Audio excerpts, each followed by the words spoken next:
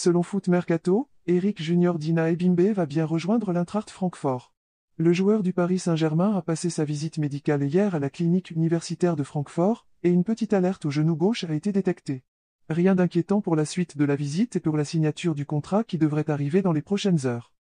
Le milieu de terrain de 21 ans devrait rejoindre Francfort en prêt avec une option d'achat de 6,5 millions d'euros et un contrat à long terme à la clé, selon Bild. Les derniers détails du contrat doivent être encore finalisés.